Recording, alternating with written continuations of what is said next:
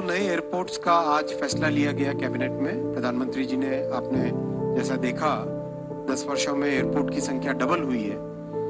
वैसे ही आम, वेस्ट बंगाल में बागडोगरा और बिहार में बेहता ये दो नए एयरपोर्ट्स का आज अप्रूवल हुआ है।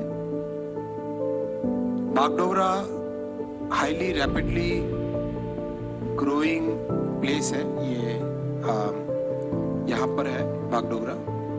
यहाँ पर बागडोगरा है और नॉर्थ ईस्ट की connectivity west Bengal north Bihar इन सब की कनेक्टिविटी के लिए बागडोगरा बहुत इम्पोर्टेंट है।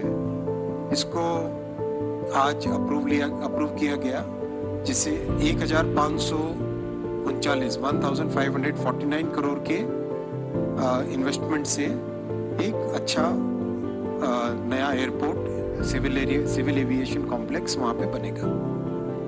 इसी तरह से बेहता, जो कि पटना के पास में है। पटना एयरपोर्ट की बहुत रैपिड ग्रोथ हो रही है डिमांड लगातार बढ़ रही है।